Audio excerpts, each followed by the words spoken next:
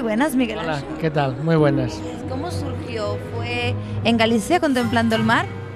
Bueno, eh, evidentemente como ingredientes al final de la historia del proyecto, sí. Después, a nivel ya formal, eh, en realidad fue un poco la consecuencia de varias casualidades.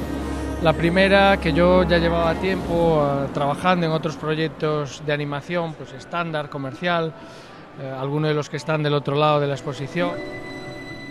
Cuando, cuando pinto, cuando hago cómic o cuando hago ilustración, en el que soy autor y por tanto controlo todo el proceso de principio a fin, cuando hacía dibujos animados yo era una parte, en, según los créditos de la película, pues importante, pero al fin y al cabo una pequeña parte y después a partir de mis dibujos había cientos de personas que trabajaban después. Tenía ganas de hacer algo eh, personal, realmente donde lo pudiese concebir como una obra de autor. Y la otra casualidad fue encontrar, por un lado, a Nani García, que fue el músico, y encontrar también una persona como fue Chelo Loureiro, que fue la productora ejecutiva. Al juntarse todas esas partes eh, fue lo que nos permitió desarrollar pues un proyecto tan atípico como, como de Profundis. ¿no?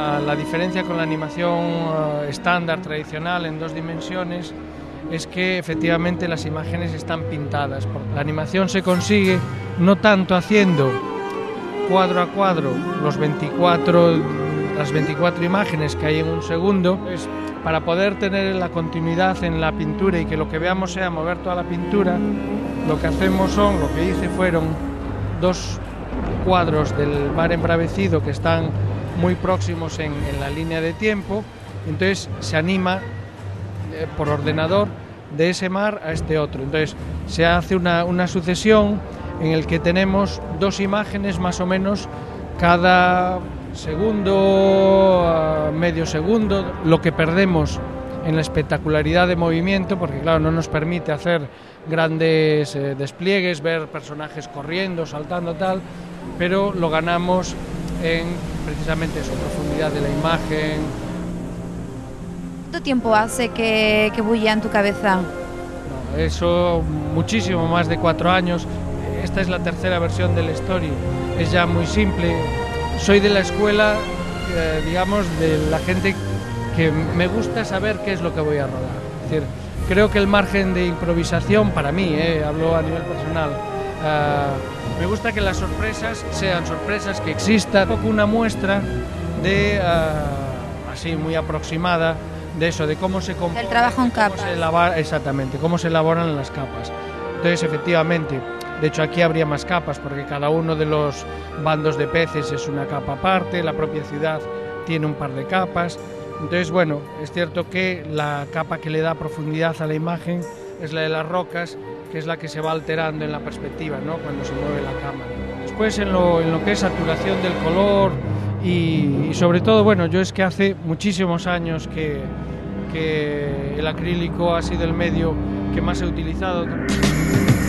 En este caso, en Men in Black, no, era una producción de la Columbia con, con DreamWorks, eh, de Spielberg y con la Warner, y había, pues bueno, un equipo de guionistas, uh, bueno, fue una, una, producción a lo grande, ¿no? Es decir, yo en Men in Black lo que era era el creador de personajes y el director de estilo. Quiere decir que eh, todo el resto de los dibujantes tenían que seguir mis indicaciones y el tipo de dibujos y los personajes que yo creaba. Es una, es una parte de, de la programación infantil y juvenil de la televisión de Galicia. Iba, iba a ser para, para la Forta, para todos los canales eh, oficiales, autonómicos, pero que bueno, al final se quedó en, en, la emisión en Galicia.